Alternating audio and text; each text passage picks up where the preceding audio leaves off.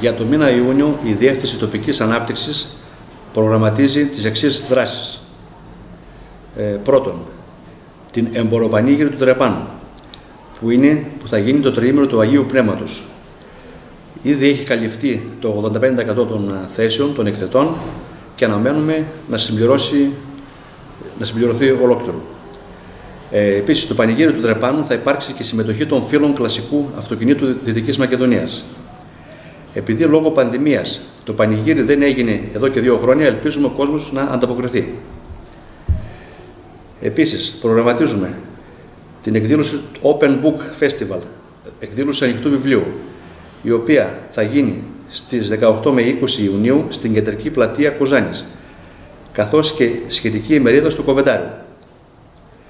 Ε, άλλη μια δράση που προγραμματίζουμε να κάνουμε είναι η έκθεση ανθοκομικής έκθεσης, η ανθοκομική, ε, που θα γίνει στο προάβλιο χώρο του Δημοτικού Οδείου Κοζάνης, γύρω στις 5 Ιουνίου. Υπάρχει ενδιαφέρον από εκθέτες και θα γίνουν και διάφορες δράσεις στο Δημοτικό Κήπο. Για περισσότερες πληροφορίες οι ενδιαφερόμενοι μπορούν να απευθύνονται στην ε, Διεύθυνση Τοπικής Ανάπτυξης που βρίσκεται στην Παύλου Χαρίση 6 στον τρίτο όροφο.